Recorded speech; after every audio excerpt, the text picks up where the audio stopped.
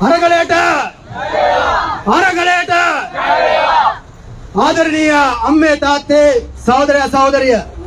අද දවසේ සමාජවාදී තරුණ සංගමයේ විදියට තවත් අපේ රටේ ඉන්න තරුණ තරුණයන් එකතු කරගෙන මේ කිරික්පත්දුවර නගරයට ඇවිල්ලා පාගමනකින් මෙම ස්ථානට ඇවිල්ලා මේ රැළිය පවත්වන්නේ ඔබ දන්නවා? මේ පහුගිය මාස පහකට ආසන්න කාලයක් මේ අපේ රටේ රනිල් පොහොට්ටුවත් එක්ක එකතු වෙලා රනිල් රාජපක්ෂ මේ ආණ්ඩුව මාස පහක් පුරා පවත්වාගෙන යනවා. අපි දන්නවා මේ වෙලාවේ ගත්තොත් අපේ රටේ එක පැත්තකින් අරගලයේ පශ්චාත් සමයක් ගත කරමින් ඉන්නේ. මොකද අප්‍රේල් මාසේ ඉඳන් ජූලි 9 වෙනිදා දක්වා අපේ ජීවිත කාලේ අපි දැකපු දැවැන්තම අරගලය කරා අපි ඒක ජයග්‍රහණ බොහොමයක් අපි මේ රටට ලබා දුන්නා. ඔය අපි දන්නවා අපි බලාපොරොත්තු වෙන්නේ සියලු අරමුණු ඉෂ්ට කරගන්න බැරි වුණා තමයි. නමුත් අපි ජයග්‍රහණ රාශියක් මේ රට ලබා දෙන්න සමත් වුණා. අනිත් පැත්තෙන් ගත්තොත් මේ වෙලාවේ අපේ මාතෘභූමිය අපේ රට නව දේශපාලන පරිවර්තනයක් ඉල්ලා සිටින මොහොතක තමයි අපි මේ ඉන්නේ. නව දේශපාලන සංස්කෘතියක් ඉල්ලා සිටින මොහොතක තමයි අපි මේ කිරිබත් කොට ඇවිල්ලා මේ සටන් කරන්නේ. මෙතෙන්ට ආපු සහෝදර සහෝදරියෝ ගෙදර ඉඳන් නිකන් ඉන්න බැරුවට මෙතෙන්ට ආව නෙමෙයි. වැඩක් නැති හින්දා ආව නෙමෙයි. අපි දැක්කා පහුගිය මාස පහක් තිස්සේ මේ පාලනය නැවත වතාවක් අර අවුරුදු 74ක් තිස්සේ ගෙන ගිහපු පාරමයි අපේ රට අරන් යන්නේ. අපේ රට අරන් යන්නේ. දැන් මාස පහක් තිස්සේ මේ රනිල් අපේ රට ගොඩ ගන්න දඟලනවා. හැබැයි අපි දැක්කේ මොකද්ද? පහුගිය මාස පහක් තිස්සේ අපේ රටේ මේ දුක් විඳින ජනතාව ප්‍රශ්න වලින් හෙම්බත් වෙලා ඉන්න දා- ජනතාවගේ ඒ කිසිදු ප්‍රශ්නයකට එක උත්තරයක් දෙන්න මේ පාලකයෝ සමත් වුන්නේ නැහැ. මේ පාලනය සමත් වෙන්නෙත් නැහැ. ඒකට මොකද්ද වුන් කරන්නේ? Tamanට පින් ජනාධිපතිකමක් හම්බුණා කියලා රනිල් ඒ ජනාධිපතිකම දුන්න රාජපක්ෂලගේ ආණ්ඩුව ආරක්ෂා කරනවා. අනෙක් පැත්තෙන් තමන්ව බිත්තට හිර වෙලා බලය හෙල්ලිලා තිබ්බ ඒ රාජපක්ෂ හොර කල්ලියේ තමන්ගේ ආණ්ඩුව රැකගන්න පින් ජනාධිපතිව ආරක්ෂා කරනවා. පහුගිය පාස පහේම මේ ආණ්ඩුව කරේ ඒක නෙමෙයිද? මේ ආණ්ඩුව කරේ ඒක නෙමෙයිද? ආදරණීය සහෝදරි සහෝදරියා අපේ කිසිදු ප්‍රශ්නයකට උත්තර දෙන්නේ නැතුව මේ ආණ්ඩුව කරේ ඒක තමයි. තමන්ගේ බලය රැක ගැනීම තමයි කරේ. දැන් අපිට මාස පහක් තිස්සේ කියන IMF ලෝන් එකක්. ඒක හම්බෙන එක ෂුවර් නෑ. දැන් පහුගිය නොවැම්බර් දෙස- දෙසැම්බර් 8 වෙනිදා සම්මත කරා මහ ලොකු අයවැය. ඒකේ මොනවද තිබ්බේ? ඒකේ ගොඩක් කරුණු තිබ්බා. මෙලෝදයක් වැඩක් නෑ. හැබැයි එකක් තිබ්බා. ණය ගන්න බලාපොරොත්තු වෙනවා. තවත් කෝටි ඒව ලක්ෂ පහක්. දැන් අපි මේ ආණ්ඩුවේ අයගෙන් අහනවා. මේ රනිල් රාජපක්ෂෙන් අහනවා.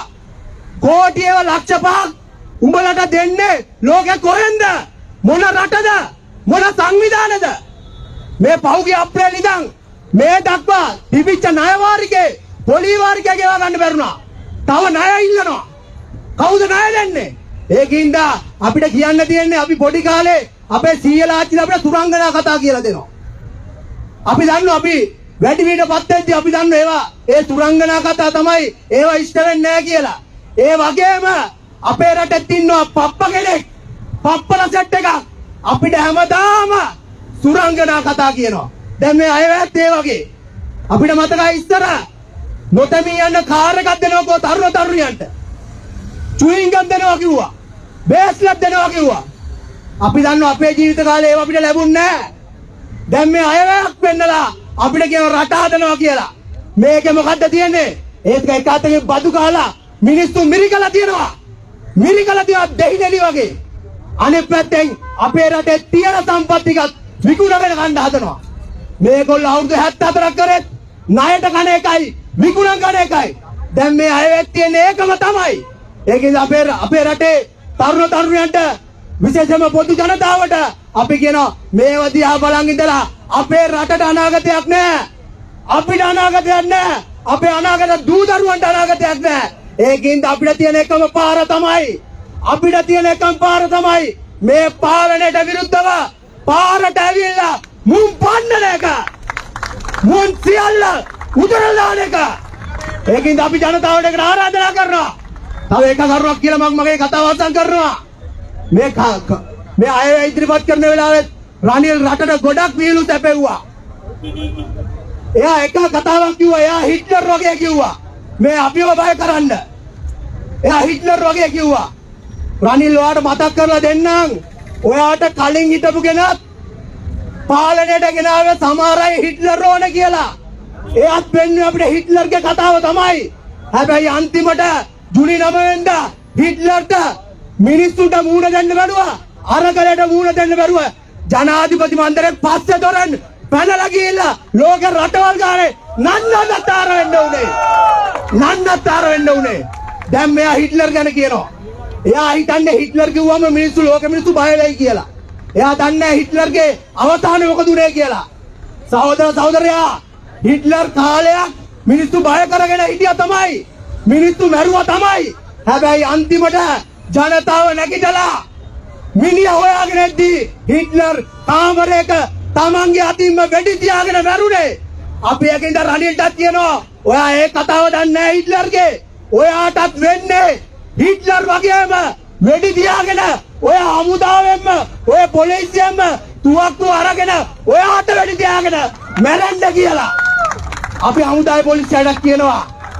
දැන් රනිල් රාජපක්ෂගේ අන තමයි ඒගොල්ලෝ පිළිපදින්නේ. අපිට නුවරදි ගැව්වා කුරුණෑගලදි ගැව්වා. දැන් අද නම් ගහන්න ආවේ නැහැ හැබැයි බලන් ඉන්නෝ. අපි දන්න ඕගොල්ලෝ අපේ පන්තියේ මිනිස්සු. හැබැයි අපිට මතක් කරලා දෙන්න ඕන. රනිල් කියන එක ඕගොල්ලෝ විශ්වාස කරන්න එපා. රනිල් කියන්නේ එක්තරා වෙලාවක ශ්‍රී ලංකාවේ යුද්ධය පාව දුන්න කියලා කතාවක් ඇදිච්ච මිනිහෙක්. මිලේනියන් සිටි මහපාවාදීම කරපු කෙනා. යුද්ධ කරද්දී අලිමංකඩ කියපු කතා කියපු කෙනා. ඒ කියපු මිනිස්සුන්ට ඔයගොල්ලෝ ආරක්ෂා කරන්නේ? මේ හමුදාවෙන් අපි ආනවා. මේ පොලිසියෙන් අපි ආනවා. එයාව ඔය ආරක්ෂා කරන්නේ? ඒකද අපි කියනවා ඕගොල්ලෝ පන්තිය පැත්ත ගන්න මේ සාමාන්‍ය ජනතාවගේ පැත්ත ගන්න. ඔය මේ රට හදන්න බැරි රට විනාශ කරපු පාලකගේ පැත්ත ගන්න එපා. තව එක කරුණක්. අපි මේ අරගලය කරද්දී රනිල් පාර්ලිමේන්තුවේ දැන් කියනවා ඒ පෝට්ටු හවුලේ කට්ටිය පාර්ලිමේන්තුවේ දැන් කියනවා අපි මේ රට හදන්න දෙන්නේ අපි බාධා කරනවලු. අපි මේ උද්ඝෝෂණ කරගන්නේ හින්දා සංචාරකයෝ එන්නේ නෑලු ආයෝජන එන්නේ නෑලු ඒ වැල් බයිලා ඔයා පාර්ලිමේන්තුවෙම ගියා ගන්න ඔයා විතරක් නෙමෙයි ලෝක රටවල් ගැන දන්නේ. අපිත් දන්නවා. අපි ස- අපේ සහෝදර සංවිධාන එක්ක අපි ලෝකේ වැඩ කරනවා. පහුගිය නොවැම්බර් මාස අපි දැක්කේ මොකද්ද? පහුගිය නොවැම්බර් 13 ඉස්පාඤ්ඤේ. අපිට වඩා දියුණු රටක්. ඉස්පාඤ්ඤේ මැඩ්රිඩ් නුවරට ලක්ෂ දෙකක් පාරට ඇවිල්ලා මොකක්ද කිව්වේ? සෞඛ්‍ය සේවය පෞද්ගලීකරණය කරන්න එපා. කප්පාදු කරන්න එපා. මිනිස්සුන්ට සහන දෙන්න කියලා. පහුගිය නොවැම්බර් 15 වෙනිදා උරුගුවේ ඒ නව ආර්ථික ප්‍රතිසංස්කරණ ලැබෙයිව වෘත්තීය සමිති පොදු මහජනතාව පාරට බැහැලා අරගල කළා දහස් ගාණක්. පහුගිය නොවැම්බර් 18 වෙනිදා ඉතාලියේ නගර 36ක ඒ ජනතාව ශිෂ්‍යෝ තරුණයෝ අරගල කරා අධ්‍යාපනයට වෙන් කරන මුදල් කපන්න එපා. තොපිලා යුද්ධ වලට වෙන් කරන මුදල් අධ්‍යාපනයට වෙන් කරන්න කියලා. එතකොට ඒ රටවල් මේ උද්ඝෝෂණින්ද වැටිලාද? ඒ බයිලා කියන්න එපා. අපේ තියෙන අයිතියක් තමයි පාරට බෑලා මේ අරගලය කරන එක. තොපි බැන්නුවොත් තමයි අපිට මේ රට හදාගන්න පුළුවන්කම ලැබෙන්නේ. ඒකින්ද සමාජවාදී තරුණ සංගමයේ විදියට ඔය කවුරු බය කරන්න ඇදුවත් සමාජවාදී තරුණ සංගමයේ අපි බය වෙන්නේ නැහැ. පෞගේ මාස පහේ අපි නිකන් හිටියෙත් නැහැ. ඔව් දැන් අපි මේක උත්සන්න කරලා උඹලව පන්නන සටන අතට ගන්නවා. ඔව් සමාජවාදී තරුණ සංගමය කියන්නේ නිකන් තරුණ පරම්පරාවක් නෙමෙයි. ස්වේච්ඡාවෙන් මුළු ලංකාවෙම ස්වේච්ඡාවෙන් වැඩ කර බලගතුල්ම විශාලම තරුණ සංවිධානය. ඔව් රනිල් උඹ ඒකට බය වෙයන් අපි හිට්ලර්ට බයත් නෑ. උඹට බයත් නෑ. ඔය හොර පොට්ටු හවුලට බයත් නෑ. ඒකින් ආදරණීය සහෝදර සහෝදරිය මේ අනගලේ අපි ඉස්සරහට ගෙනියන්න ඕන. මේක අපි නවත්තන්නේ ජයග්‍රහණයෙන් විතරයි. ජනතාවාදී පාලනයක් ගොඩ නගලා අපේ ප්‍රශ්න විසඳන පාලනයක් ගොඩ නගලා විතරයි අපි මේ සටන අවසන් කරන්නේ. ඒ ඉඳා සමාජවාදී තරු සංගමයට ජනතා අරගලයට සමාජවාදී තරු සංගමයට පොදු ජන අරගලයට. ජය වේවා ජය වේවා ජය වේවා